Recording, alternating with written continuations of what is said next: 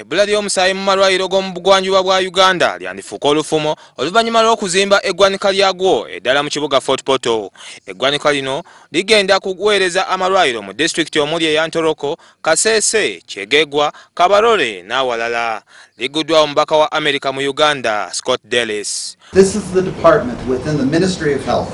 that has the primary responsibility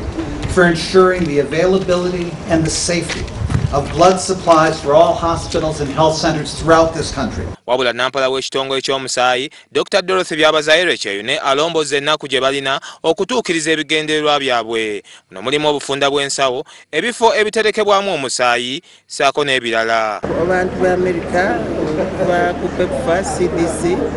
ne batuzimbira kati batuzimbidde enafrica regional blood bank yakutaano